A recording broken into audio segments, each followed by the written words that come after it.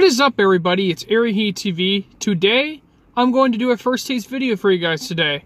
I haven't made a first taste in quite a while. The last time I ever made a first taste video was, uh, it was Merry Mashup actually. But today, after my work, I decided to stop by Dairy Queen because I haven't been in quite a while and I wanted to do another Blizzard review. So today, it's back for a limited time. It's the holiday season's coming around. So today I'm going to do a, a first taste video of the Oreo Hot Cocoa Blizzard. I think that's the name of it. Now, it has whipped cream topping, Oreo, vanilla ice cream, and cocoa fudge. This sounds pretty good. I do enjoy hot cocoa on cold days, and I love blizzards, so I take a bite like this one. I got I ordered a small today.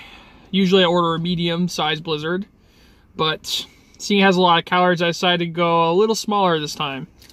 So today, let's try this on camera for the first time. Oreo Hot Cocoa Blizzard. So it has some whipped cream topping and cocoa fudge. Smells very chocolatey. Three, two, one.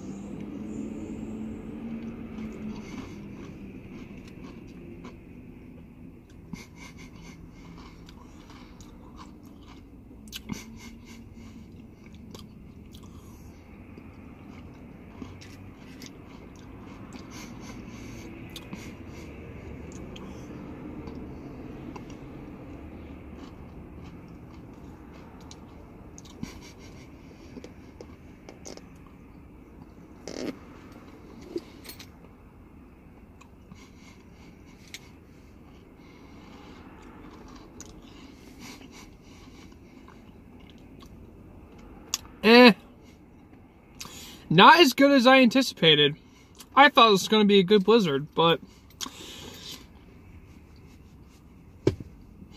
not great.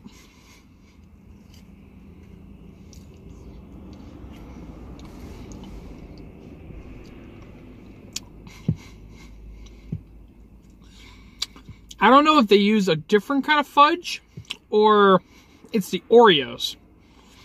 The Oreos, in my opinion, I don't know if they like did something to the Oreos because it tastes pretty burnt to me. Like it tastes like something is burnt inside the Blizzard. So I am not too fun with it as I anticipated.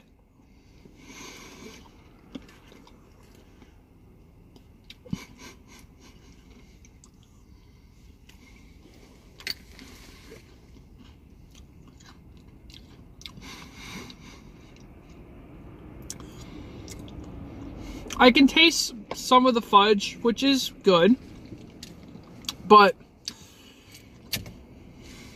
not the greatest blizzard I've had. The Oreos, in my opinion, just something just tastes burnt inside it. So,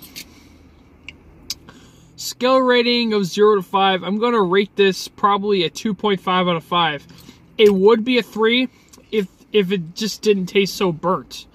This is not particularly great in my opinion. I prefer other blizzards like the Cocoa Fudge Extreme, which used to be called the Chocolate Extreme. That one was very good. I like that one.